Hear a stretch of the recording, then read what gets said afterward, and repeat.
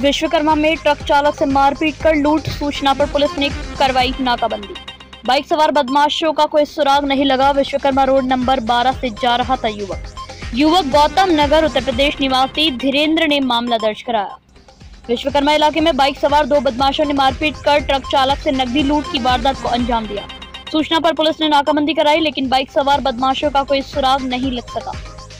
Police ने बताया कि गौतम नगर, उत्तर प्रदेश निवासी धीरेन्द्र ने मामला दर्ज करवाया है कि वह ट्रक चलाता है।